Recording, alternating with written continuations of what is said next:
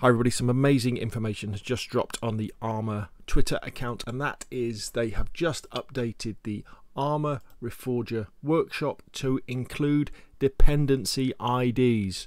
So this is incredibly useful um, incredibly helpful and will transform the way that we can add mods to our community servers, especially if you're on console and don't have access to Arma Reforger on PC. So basically, you can arrange the mods however you like, and this, this is going to be improving over time. But let's say you go into a very popular mod, say the uh, M4A1 MK18 mod by RiverX. You click in there, gives you some details, and there we have the ID. How easy is that? And also incredibly importantly as well we have all the dependencies. So these are the other mods that you must have installed for this mod to work properly. Link in the description down below so everybody who kind of understands about that will probably have clicked away. Now if you want a little bit more information okay so the way it kind of works is this. If you've taken out a Arma Reforger community server you know you're, you're renting one from say Nitrado the first thing you want to do is you want to go into the settings um, and you want to give yourself an admin password. Very, very important this because at the moment, time of recording this video, um, if you want to spawn in things like the helicopters or the better vehicles or armory crates with like the M416 and the Mark 18 into it, you have to spawn them in via the Game Master menu. And the way you get access to the Game Master menu on a community server is by logging in as the admin. So give yourself an admin password when you're in the game, on PC you press enter, on Xbox you press LB and Y, and then you type hashtag, and then in lowercase you type login, space, your password, press enter or press LB and Y, and then when you press the pause menu, you will have access to the game master just like you would you know when you access the game master when you're just in the game locally.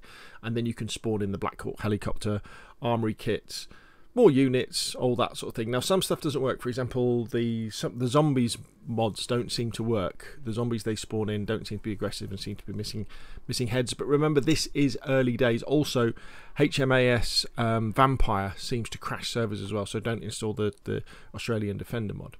So anyway, so give yourself an admin password. Then you want to go to your config files. So here's my config file, for example, here. Don't worry, I've changed the um, password and when you scroll down you, you have a section about mods. And this is the bit that was difficult before because the only way to get the mod ID was to go into the Arma Reforger tools or to go into a folder in your documents um, folder on your PC where Arma Reforger downloaded the mods. So it was all a bit long-winded.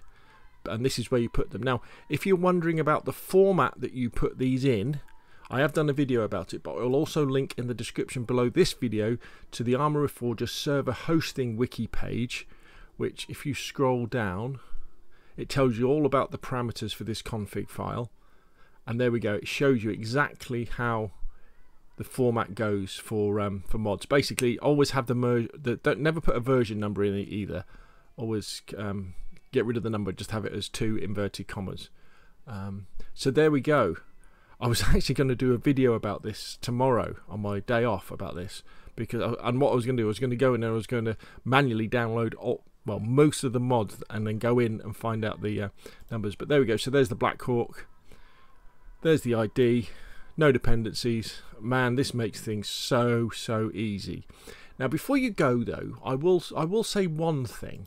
All right about your server is remember this is early days for Arma Reforger. It's early days for community servers.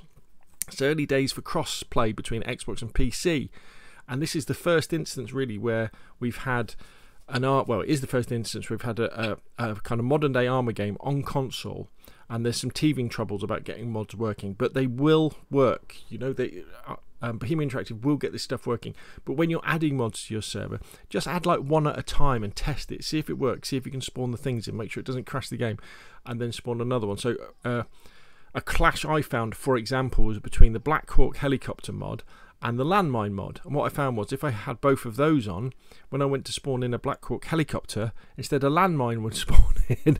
so I had to disable the landmines mod. I had to take it away.